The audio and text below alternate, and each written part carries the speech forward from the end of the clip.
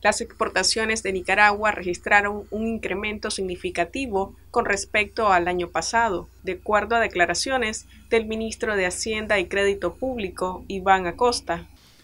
Decíamos que el régimen, bueno, que las exportaciones totales habían crecido el 6.3% con respecto al 2022, 1.245 versus 1.171 millones al cierre de febrero. El régimen general tenía 700 millones versus 638 para un 9.7. Es decir, prácticamente está muy cerca de dos dígitos, que muestra el gran, la gran fortaleza que tiene la producción eh, agropecuaria, el impacto que tiene en la exportación del oro y que se ha mantenido durante estos últimos 36 meses constante.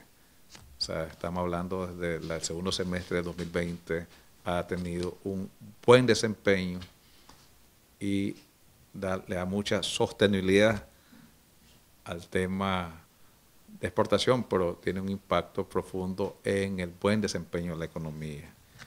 La zona franca 544.4 versus 532 está un poco 2.2% por encima al 2022, pero tiene una tendencia en que podemos decir va a superar fácilmente los 3.500, 3.600 millones de dólares, es decir, va a un buen ritmo.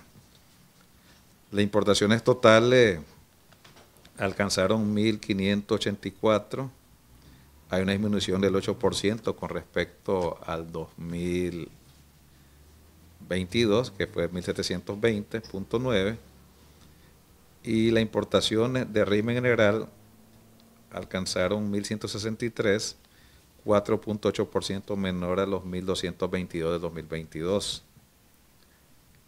Eh, las importaciones de zona franca alcanzaron 420 millones, inferior en 15.7% con respecto a los 498.5 del 2022.